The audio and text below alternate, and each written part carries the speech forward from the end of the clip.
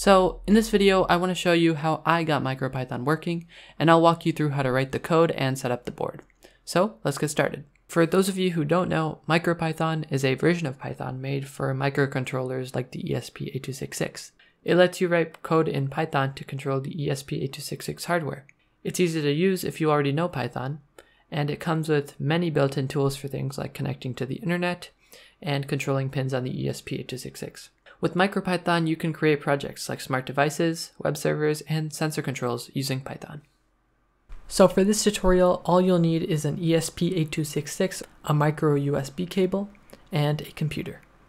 Okay, so the first thing we have to do here is install the ESP8266 uh, MicroPython firmware. So we just go to Google and uh, type in ESP8266 MicroPython firmware. And we can go into the MicroPython downloads. And if we click on ESP8266 in the port right here, okay, so then we're gonna have to scroll down to ESP8266 with one megabyte flash, click on it, and we're gonna have to click on the latest one and download that. Next, what you're gonna wanna do is open a new tab, and in here, you're gonna want to look for Node MCU Flasher. It's gonna be a GitHub repository, and this is the program we're gonna use to uh, flash the firmware onto the ESP8266. So we're going to go to Win64 release and click ESP8266 flasher and download it. If you're on Mac or Linux, I will leave a link in the description below to install it. Okay, so now connect your ESP8266 to your computer and then run the ESP8266 flasher program. And it should automatically detect the port. So now you're going to want to go into config, click the settings icon, click the firmware that you just downloaded, go back into operation, and then just click flash. So then what this will do is it will flash the firmware onto your ESP8266 to run MicroPython. Okay, so now that that's uh, flashed onto the ESP8266, you now need to download and open up VS Code. Alright, so once you're in VS Code, you need to go into the Extensions tab in the left side panel. In here, you want to type in Pymakr, that's P-Y-M-A-K-R, and you'll need to install the official version right here. So this Pymakr extension basically allows you to interface with a NodeMCU device, and then you can flash any files to it, including your Python code, and it will run that. So once it's installed, you need to click on this Pymakr icon on the left, and click on Create Project. Now I'm going to create a new folder.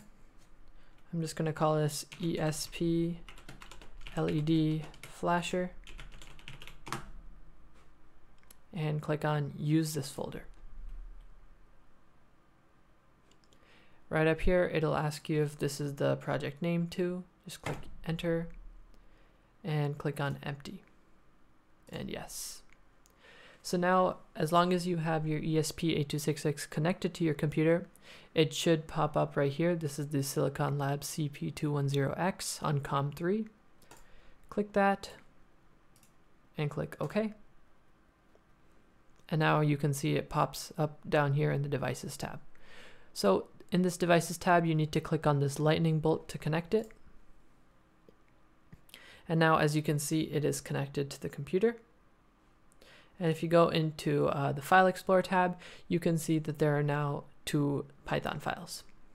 So the boot.py file, as shown by the comment, runs at boot up, and the main.file runs after that.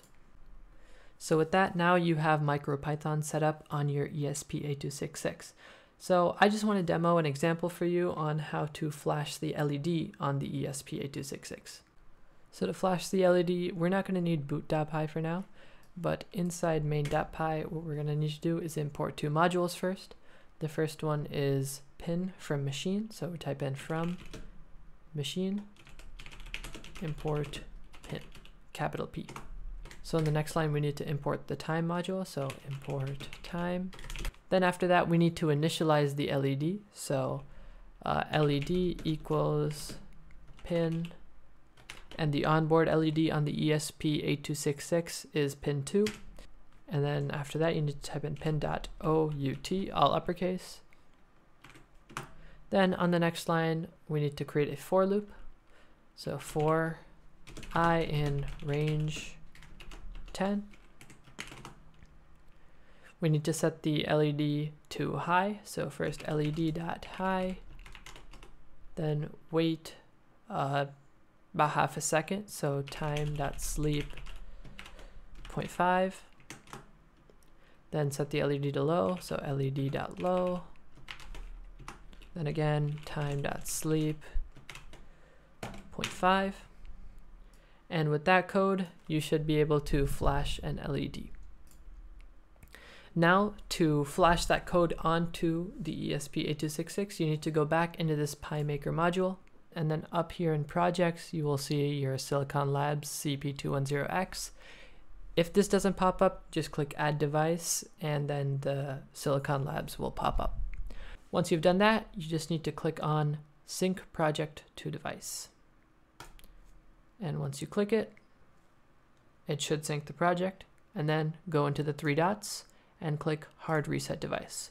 Once you do that, the LED should start blinking as you can see right now.